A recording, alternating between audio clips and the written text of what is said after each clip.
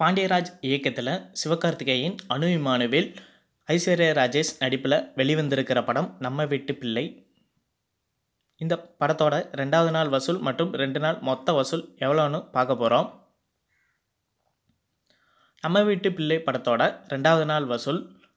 தமிழ்நாட்டில் இந்த படம் ரெண்டாவது நாள் அஞ்சு கோடியே பதினோரு லட்ச ரூபாயும் கேரளாவில் இருபத்தோரு லட்ச ரூபாயும் கர்நாடகாவில் இருபத்தி மூணு லட்ச ரூபாயும் ரெஸ்ட் ஆஃப் இந்தியா அதாவது இதர இந்தியாவில் ஒம்பது லட்ச ரூபாயும் வெளிநாட்டில் ரெண்டு கோடியே நாற்பத்தோரு லட்ச ரூபாயும் இரண்டாம் நாள் வசூல் பண்ணியிருக்கு.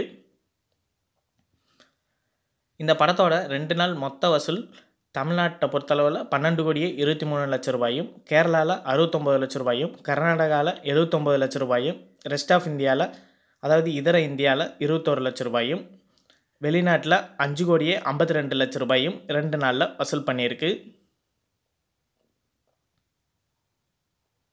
நம்ம வீட்டு பிள்ளை படத்தோட இரண்டு நாள் மொத்த வசூல் பத்தொம்போது கோடியே நாற்பத்தி நாலு லட்ச ரூபாய்.